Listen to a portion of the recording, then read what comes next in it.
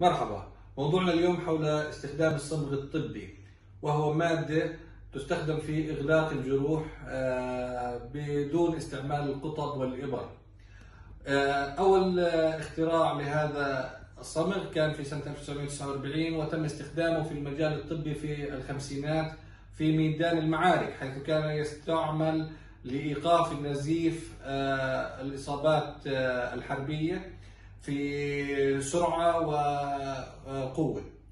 والآن يستعمل كمادة تجميلية في الجراحة. سأقدم لكم حالتين آه، تم علاجهم في هذه العيادة آه، لإطلاعكم حول الفوائد آه، من استخدام الصبغ الطبي. شكرا لكم.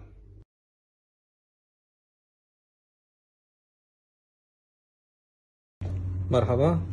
هاي عندنا هنا جرح غائر. يستحق التخطيب لكن راح نستعمل معاه الصمغ الطبي اللي هو يحافظ على آه، جمالية الجرح إلى حد كبير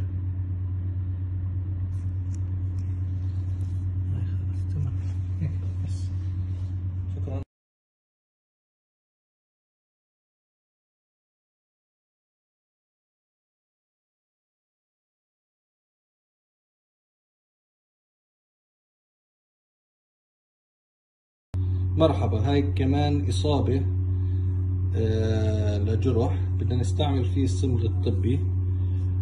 واضح كيف الإصابة شوي فاتحة. فإحنا عشان نخليها أقل تصير تجميلية أكثر بنشد المنطقة بهذا الشكل. فبتلاحظوا على مباشرة نقلل هذا ونحط الصمغ بس. بنضلنا ثابتين هيك.